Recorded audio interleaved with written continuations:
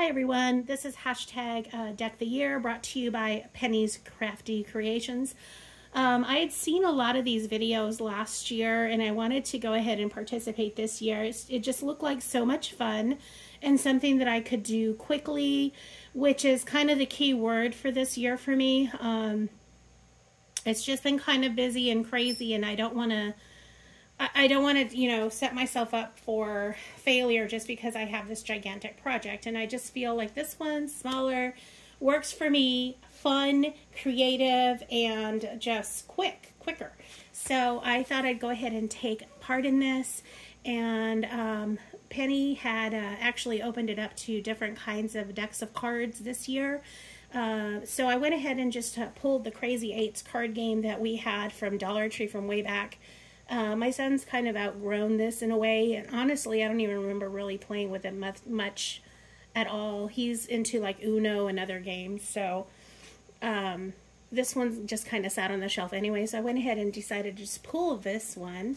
And the Barbie one you see there to the side was a uh, fraction and flashcard type uh, deal or numbers and counting type deal that I had um, just gotten from the Dollar Tree just for uh, projects for myself that just had to do with Barbie and, you know, girly type projects. So I thought I'd go ahead and get um, use out of those as well. The Crazy Eights game does not have a deck of 52. It's actually 32. So I needed another set of cards just to make up the difference for the year.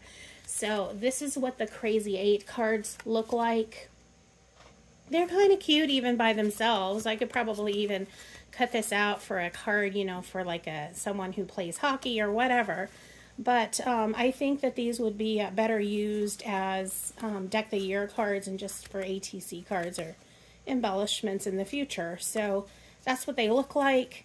I don't know what I ended up picking um, at the end. I want to say it was an 8, but I, I honestly don't know. I'll start keeping track of that. But I went ahead and just covered the front part of it, and so you'll be seeing the back of it. And then in this case, I have not done any of them yet. I did two for using these two cards, one for last week to make up for last week and one for this week to make up for, for this week, basically. And for this one, I just went ahead and did, I started just with the cute little uh, sunflower, and I thought, okay, well, um, I'm going to wish you happiness in the new year. So that is my new year card kind of thing. And I pulled this paper. I love this paper. It's really pretty. Um, but it needed some brightening up. So I went ahead and added the little stickers there. And then, like I said, this is where I had started off with is just the cute little happy, um, the little happy face with the little sunflowers. So I thought that that pulled from this. So that's why I used this paper. And then I added the happiness right there and the cute little sticker at the bottom. These stickers are also from a Dollar Tree. Um, I have a huge stash of stickers and this will be uh, beneficial too to just go ahead and use them in these in this collab. Um, I might add to this card, but for now that is what I have for um, last week. And then for this week, I went ahead and, of course, this is the back of the card.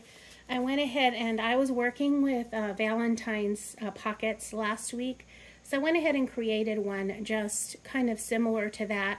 Used my, um, my Dymo sticker, you know, my little uh, printer thing for the Happy Valentine's Day. I just thought it needed something else.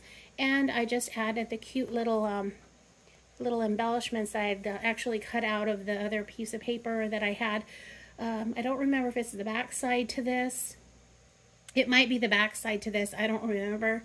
All I know is that I pulled it from a different piece of paper that I also had in my stash and I went ahead and cut these um, conversation hearts out since the background is conversation hearts and the little conversation container. So I thought that was cute for a happy Valentine's Day. I suppose I should have saved it for maybe the weeks of February, but that is what I was working with, and that's kind of the um, idea for me behind this is just to use what I have.